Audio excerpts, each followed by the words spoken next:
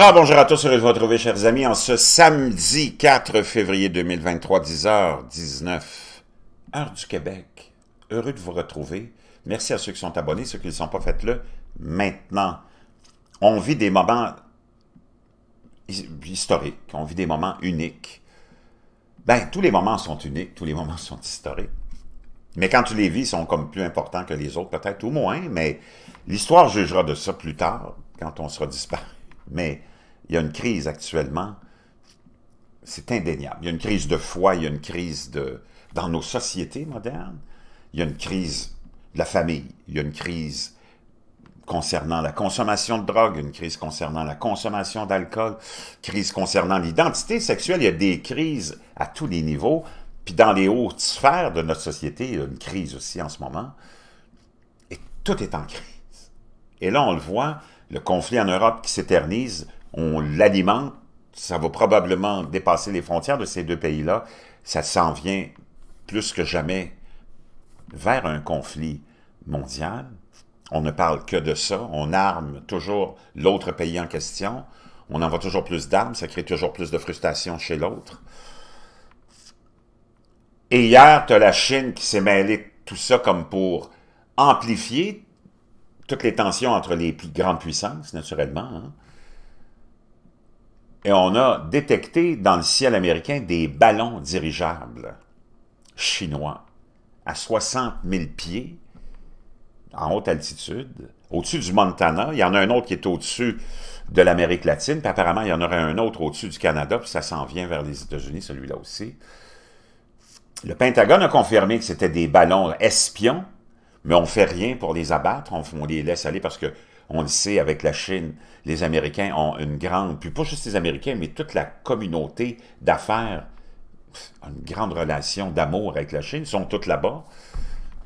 Et c'est comme ça qu'ils ont détruit nos, nos économies depuis 30 ans, tous ces grands dirigeants de grandes entreprises, que ce soit françaises, américaines, canadiennes ou autres, qui sont allés s'amouracher depuis que Bill Clinton a permis aux Chinois de s'en venir dans le commerce international, euh, dans l'Organisation du commerce international dans les, années, dans les années 90, en espérant que ça permettrait à la Chine de s'ouvrir et de devenir plus démocratique.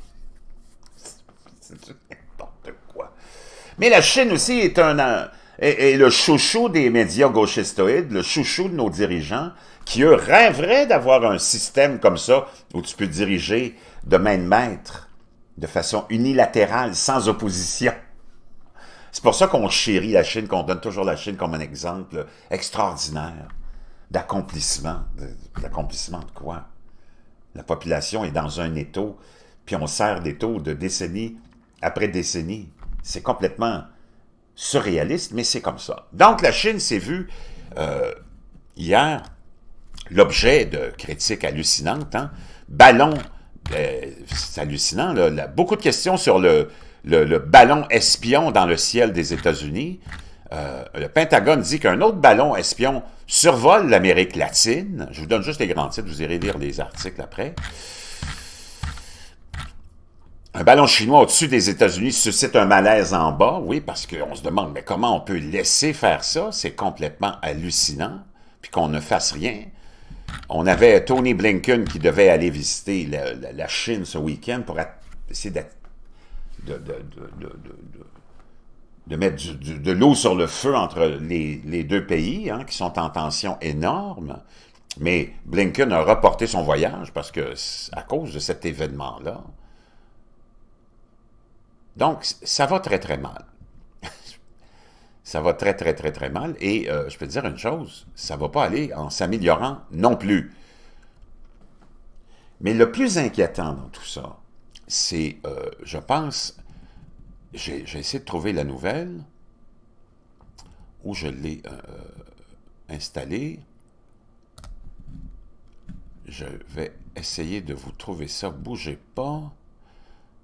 Mais on pourrait penser que c'est peut-être une plateforme, éventuellement. Si je ne le trouve pas, là, je vais vous résumer ce que j'ai lu. Euh, ah, je l'ai. Ça nous vient du Washington Examiner. Et c'est pour ça que je veux porter votre attention sur cet événement-là. Bon, il y a l'événement des deux ballons dans le ciel américain, violation totale. On voit le, culot de la Chine qui vient tester, hein, encore une fois, la patience du gouvernement américain de Joe Biden, qui, selon plusieurs euh, sources, la famille Biden et le fils Hunter Biden auraient des grands liens avec des grands investisseurs chinois. Donc, c'est pour ça qu'on est toujours très, euh, très doux et très amical avec la Chine, parce qu'on reçoit beaucoup d'argent du côté de la famille Biden. Mais, moi, je vous parle souvent d'un événement euh, majeur qui pourrait arriver, hein, euh, d'un événement EMP qui pourrait être déclenché par un pays ennemi, voyou, par exemple aux États-Unis, mais ça aurait des impacts de façon mondiale, parce qu'on a vu même un ballon qui a été vu au-dessus du Canada, et qui déclencherait une crise extraordinairement euh, apocalyptique. Imagine-toi si en 2023, tu perds le réseau électrique pendant des semaines. Que ce soit de façon naturelle venant du soleil, et ça c'est une possibilité aussi, Hein, imagine l'événement Carrington qui avait fait sauter euh, tous les euh, systèmes de télécommunication à l'époque. Et les gens se sont réveillés dans la nuit presque partout sur la planète en pensant que c'était le jour, parce qu'il y avait une, éjection de masse coronale énorme qui avait provoqué une tempête géomagnétique, puis qui avait tout cramé les fils euh, des télégrammes. Il y a même des édifices qui ont explosé, des bureaux qui ont explosé, des gens qui ont été blessés si ça se, produisait aujourd'hui. Donc ça, c'est une possibilité. Dans le 25e cycle du Soleil dans lequel nous sommes en ce moment, on est dans son maximum, puis il est quand même assez actif. Puis on a manqué euh, de très peu d'en avoir une grande tempête géomagnétique euh, qui s'est en allée dans une autre direction. Heureusement, notre magnétosphère est en complète transformation, affaiblissement à cause d'un changement de pôle qui est en train de s'effectuer, qui pourrait s'effectuer soudainement, qui pourrait nous amener l'événement du jeune Dryas aussi. Une espèce de, d'air de, glaciation euh, soudain, comme ça s'est passé il y a 11 euh, 600 ans à peu près. Ou ce même genre d'événement-là pourrait être provoqué par des explosions ou par des lasers. Maintenant, on voit, les technologies sont hallucinantes, hein, même à partir de satellites. Et c'est la théorie euh, qu'on avance avec le Washington Examiner ici, suite à l'observation de ces deux ballons hier aux États-Unis, les ballons à haute altitude comme celui que la Chine a fait flotter au-dessus des bases militaires, parce que ces deux ballons-là flottaient au-dessus des bases militaires, au-dessus des sites euh, de lancement de missiles à moyenne et haute portée, c'est quand même assez euh, euh, audacieux sont considérés comme une plateforme de livraison clé pour les frappes nucléaires secrètes sur les réseaux électriques américains selon des responsables du renseignement, pas n'importe qui. Les ballons espions utilisés par le Japon pour larguer des bombes pendant la Seconde Guerre mondiale sont maintenant beaucoup plus sophistiqués. Ils peuvent voler jusqu'à 200 000 pieds, échapper à la détection et transporter une petite bombe nucléaire qui, si elle explosait dans l'atmosphère, atteindrait le réseau et anéantirait l'électronique dans une zone à l'échelle de plusieurs États. Wow! Ces fameuses attaques d'impulsion électromagnétique lancées par des ballons ont été mises en garde par une commission EMP du Congrès au sein de l'armée il y a plusieurs années, je vous en avais déjà parlé.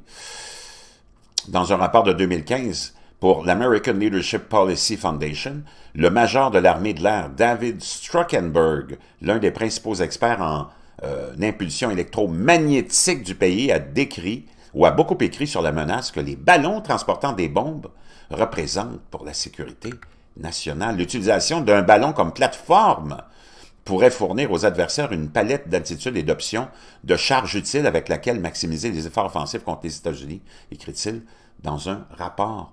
Un ballon à haute altitude pourrait être conçu, créé et lancé en quelques mois. Rien n'empêche que plusieurs centaines de livres de matériel d'armement soient livrés en altitude en plus. Vraiment, vraiment hallucinant. Les experts de ces impulsions électromagnétiques ont averti que la Chine, la Corée du Nord, la Russie et l'Iran avaient des programmes pour frapper le réseau américain avec des armes à impulsion électromagnétique qui couperaient le cordon pendant un an ou plus. Wow! Un rapport du Congrès avertit qu'une panne aussi longue pourrait entraîner des millions de morts. Pendant ce temps-là, donc gardez ça en tête, ça s'en vient. Moi, je vous l'ai dit, préparez-vous. Quand on parle de tout ça, c'est parce que c'est qu'on te prépare, puis on le sait que c'est inévitable.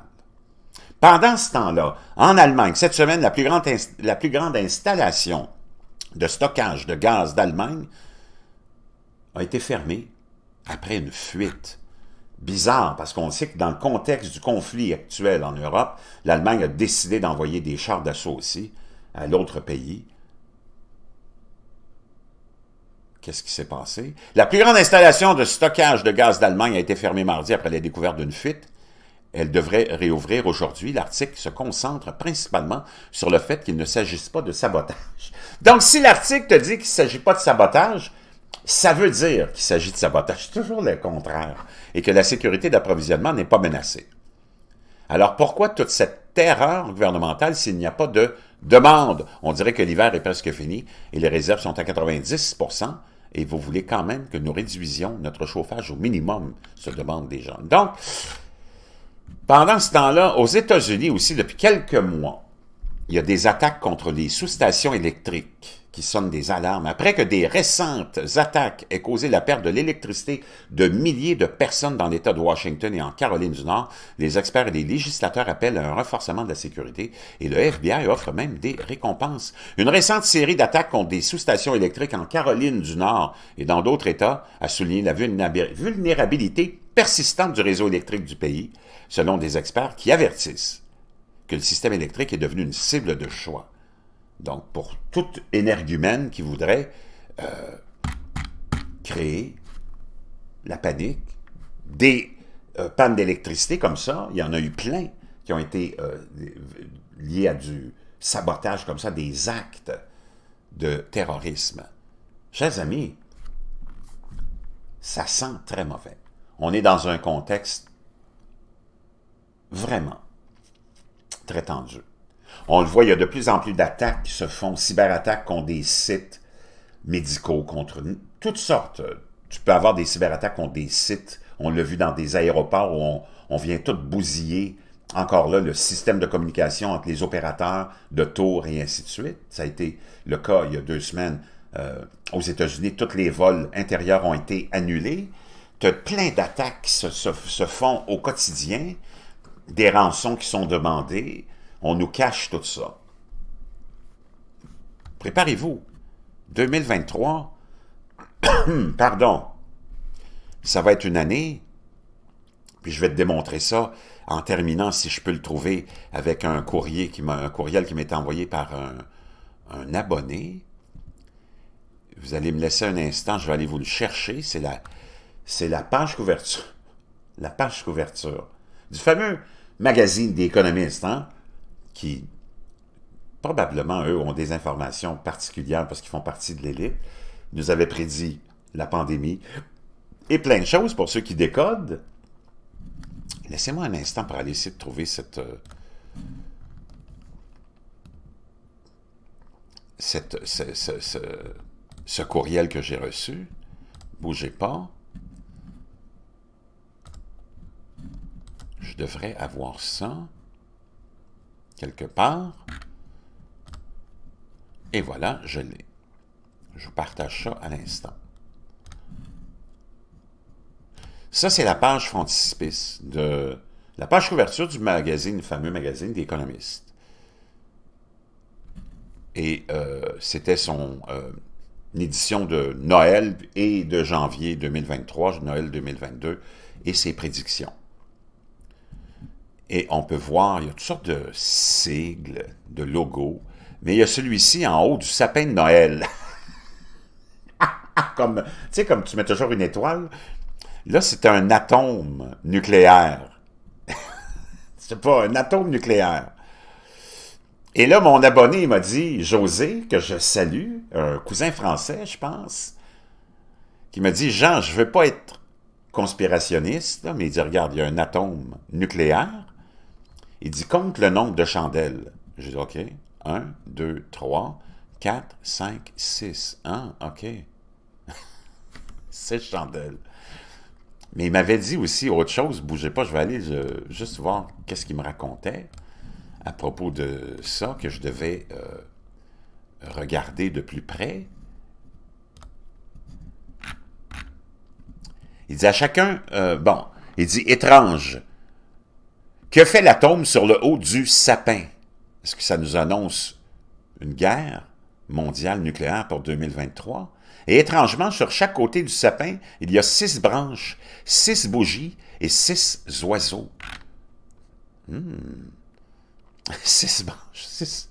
Donc, j'essaie de voir, et c'est vrai, et j'essaie de trouver les oiseaux, euh, mais en tout cas, je vois, je vais voir partager ça, mais c'est sûr que ces gens-là fonctionnent souvent par code. Des fois, il y a du hasard, des fois, c'est que, que, que le hasard. Donc, 1, 2, 3, 4, 5, 6 oiseaux, 1, 2, 3, 4, 5, 6 chandelles, 1, 2, 3, 4, 5, 6 branches d'un côté, 1, 2, 3, 4, 5, 6 branches de l'autre.